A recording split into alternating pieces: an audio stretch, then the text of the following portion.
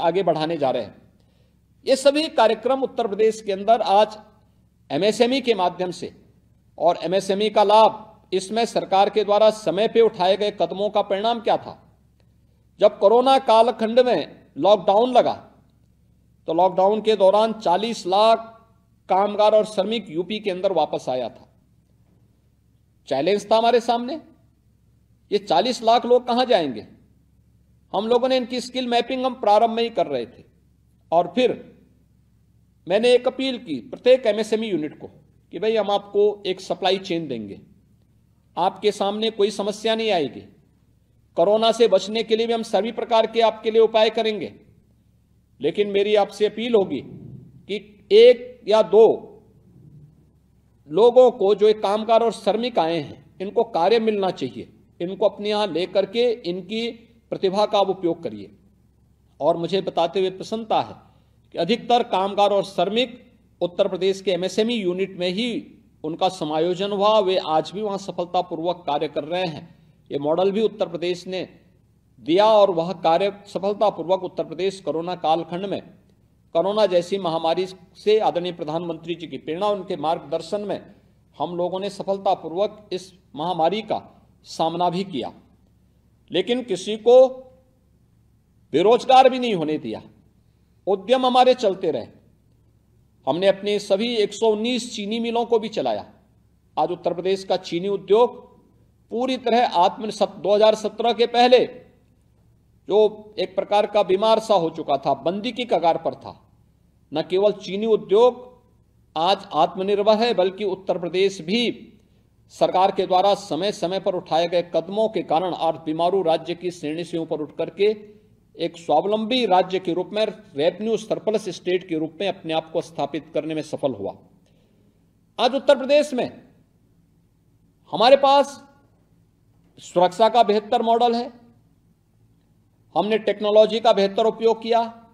MSME के cluster को प्रोत्साहित किया। परिणाम है, जिस उत्तर प्रदेश में लोग पहले आना नहीं चाहते थे। आज उस उत्तर प्रदेश में औद्योगिक निवेश के बेहतरीन प्रस्ताव प्राप्त हो रहे हैं। हम लोगों ने फरवरी 2023 में अपना प्रदेश का ग्लोबल इन्वेस्टर समिट आयोजित किया था। और मुझे बताते हुए प्रसन्नता है, मुझे याद है 2018 में जब हम अपना इन्वेस्टर समिट आयोजित कर रहे थे तब जब मैं अपनी टीम के साथ बैठा था तो मैंने उस समय उनसे पूछा था, अभी आपका लक्ष्य क्या है? तो 2018 में जो टीम यूपी की मुझे कहती थी कि साहब, बीस हज़ार करोड़ का निवेश आएगा। मैंने उस समय उनको शांत किया था। मैंने कहा, बीस हज़ार नहीं, हमारा लोअर जो टारगेट होगा, वह दो लाख करोड़ का कम होना चाहिए। और फिर हम उसको आगे बढ़ाने का प्रयास करें। आज उसी उत्तर प्रदेश में जब तेईस में हम इन्वेस्टर समिट करते हैं तो हमें 40 लाख करोड़ रुपए के निवेश के प्रस्ताव प्राप्त होते हैं और 40 लाख निवेश के प्रस्ताव, यानी आप सोच सकते हैं कि इससे हम एक करोड़ तीस लाख से अधिक नौजवानों को सीधे सीधे उत्तर प्रदेश के अंदर नौकरी देने में सफल हो सकते हैं और हमारे सारे कार्यक्रम उसी से आगे बढ़ने जा रहे हैं, जिनमें से पहले ग्राउंड ब्रेकिंग का कार्यक्रम 19 फरवरी को आदरणीय प्रधानमंत्री जी के कर कमलों से होने जा रहा है, जिसमें 10 लाख करोड़ रुपए से अधिक के निवेश के प्रस्तावों का भूमि पूजन का कार्यक्रम एक साथ उत्तर प्रदेश के अंदर होने जा रहा है। प्रदेश ने परंपरागत हस्तशिल्पी और कारीगरों की, जिनकी ताकत का एहसास लोग नहीं कर पाते थे,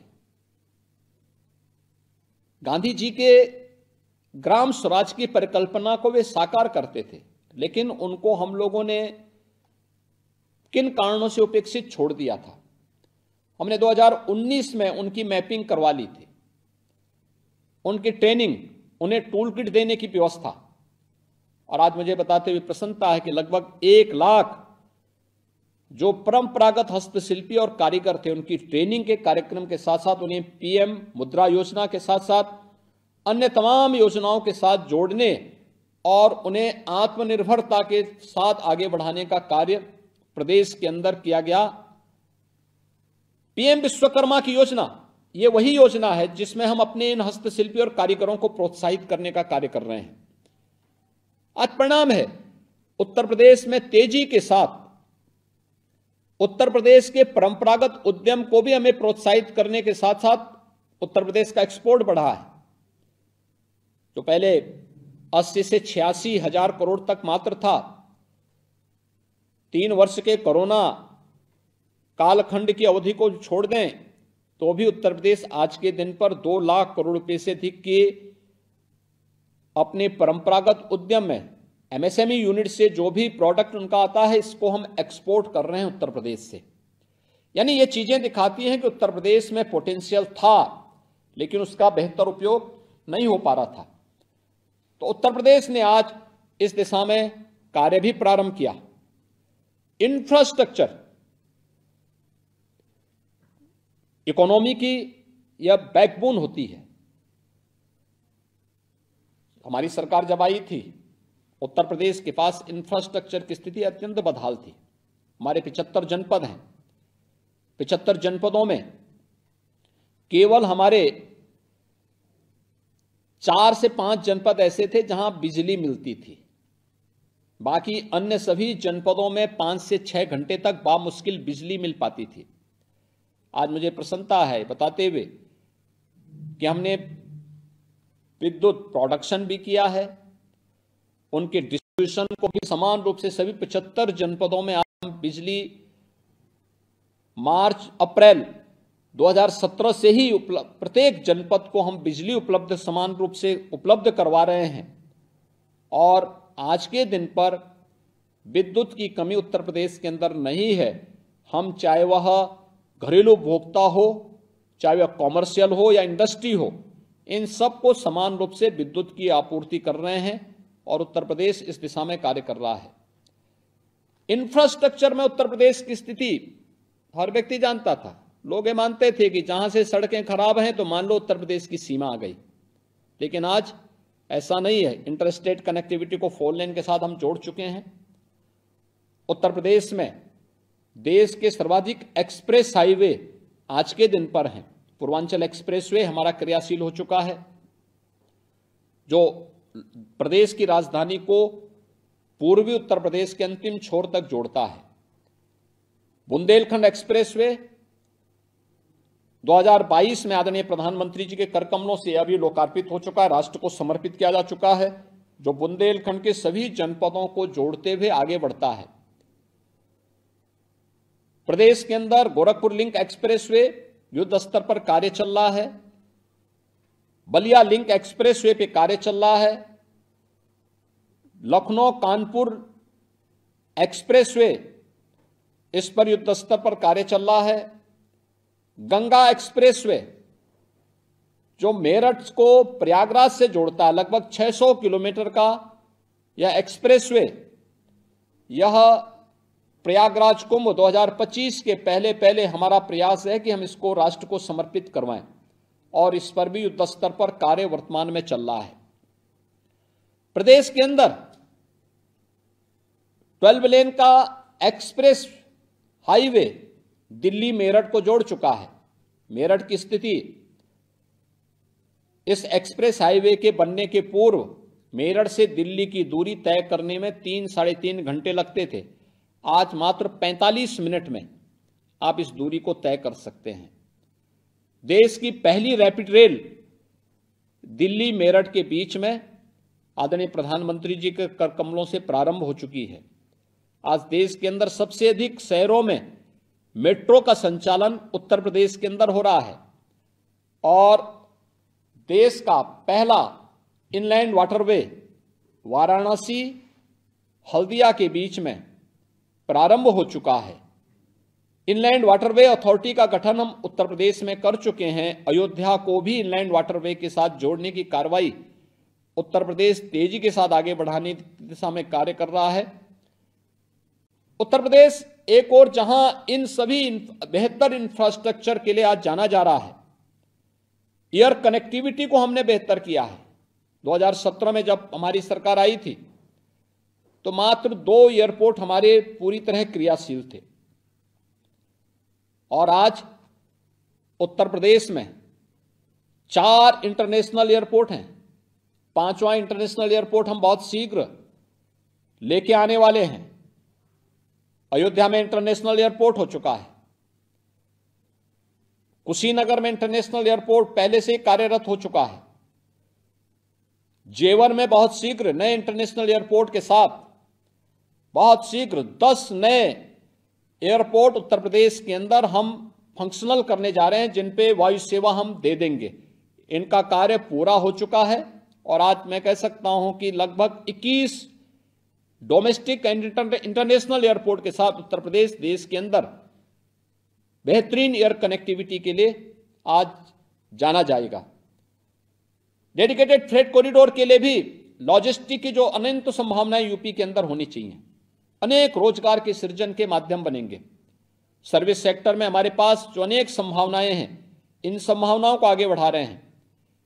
खेती किसानी पर जो ध्यान दिया जाना चाहिए था यूपी में तो आप सब जानते हैं, हमारे पास पर्याप्त जल संसाधन भी है, अत्यंत उर्वरा भूमि भी है, लेकिन किसान उपेक्षित था, आत्महत्या कर रहा था। इसी उत्तर प्रदेश में 2014 के पहले आत्महत्या करता था 2017 के पहले भी लोगों आत्महत्या करने के लिए मजबूर थे।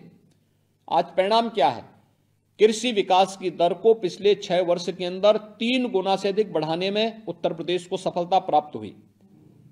इस दौरान प्रधानमंत्री कृषि सिंचाई योजना के माध्यम से उत्तर प्रदेश के अंदर हम लोगों ने लगभग 23 लाख हेक्टेयर लैंड को अतिरिक्त सिंचाई की सुविधा उपलब्ध करवाई। किसान को टेक्नोलॉजी के साथ जोड़ने का प्रयास हुआ। नेचुरल फ़ार्मिंग और ऑर्गेनिक फ़ार्मिंग को बढ़ावा दिया। उनके सर्टिफिकेशन की कार्रवाई को तेज़ी के साथ आगे बढ़ाया। आज परिणाम हमारे सामने है। उत्तर प्रदेश के अंदर आप देखते होंगे जिस उत्तर प्रदेश में किसान अपने गन्ने के खेत में आग लगाता था।